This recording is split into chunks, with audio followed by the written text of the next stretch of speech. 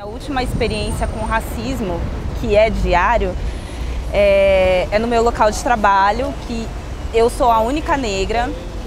Então é, eu tive uma dificuldade porque eu tive uma transição de cabelo que foi muito grande, porque eu alisava né, e tudo mais. Até que eu tive que ter essa aceitação dentro do meu trabalho e isso foi uma coisa bem complicada para mim. É, eu tive perguntas como você vai deixar o cabelo desse jeito, como se o meu cabelo tivesse desarrumado ou como se fosse alguma coisa fora do comum ou algo anormal. Então essa foi uma das últimas experiências que eu passei, mas isso é sempre, isso é em todos os lugares e eu sempre passo por isso, ou não só por conta de cabelo, por conta de qualquer outra coisa.